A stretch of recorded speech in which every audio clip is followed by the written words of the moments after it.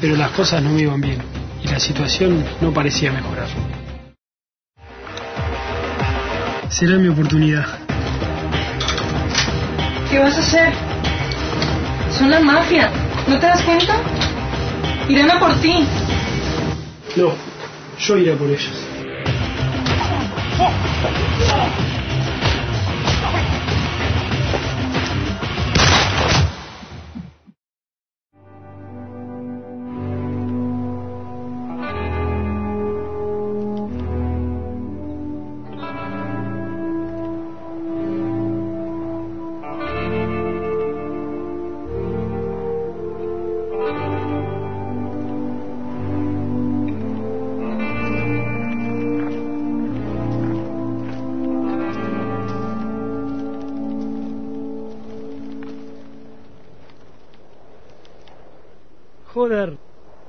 No sirve ni para cargarse unos catetos.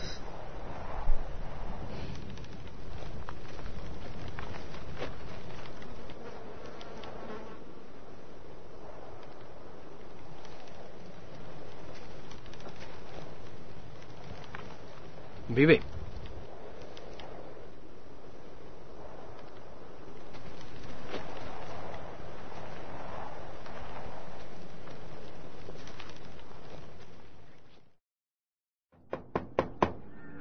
Pasa.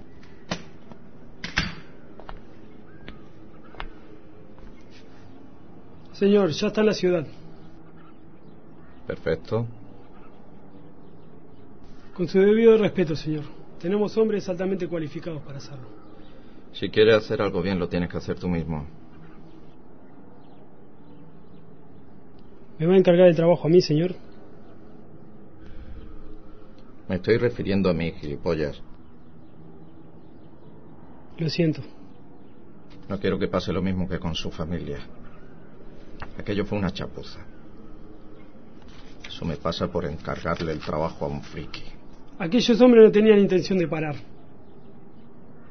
Tenía que haber matado a toda la familia. No se pueden dejar cabos sueltos. Eso es como dejar pequeñas bombas de relojería. Pero ella... ¿Cómo va el proyecto azul? Aún faltan unas horas. Vete de aquí.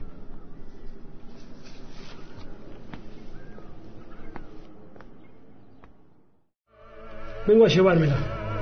Claro. Ernesto, ya sé que alto secreto. Pero ¿no crees que me merezco saber qué va a pasar con ella?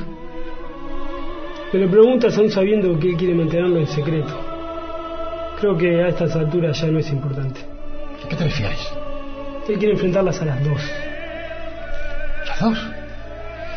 Deja ya de hablarme como si fuera un puto Jaivón, por favor. Habla con claridad. Pretendemos que la hermana de esta perra sea el nuevo fichaje de la organización. Él quiere enfrentarlas para que gane la mejor. Si esa tal Carmen, que tan cachondo pone el jefe, logra vencer a su hermana autómata, entrará directo en la organización y se convertirá en una de nuestros mejores asesinos. Si así, ella cede. Por cierto, el jefe me dijo algo acerca de la base humana del autómata. No lo recuerdo muy bien, pero lo que me quiso decir es que si alguna cosa no sale bien,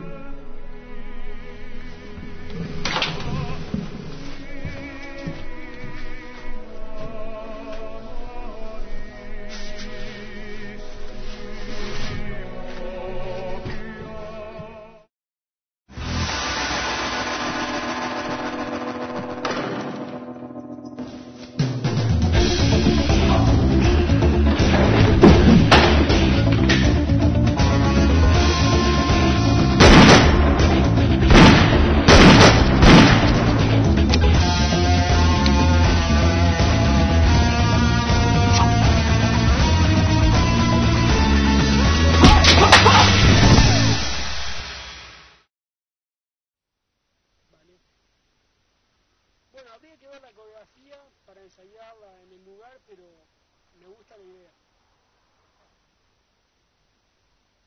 No, claro que nos interesa. ¿Dónde hay que firmar? No lo dudes, somos profesionales. Vale, allí estaremos. Y luego de la filmación podríamos ir a tomar algo tuyo juntos. Ojalá. Seguro que hay mucha química entre nosotros. Vale, adiós. Un besito, hasta luego.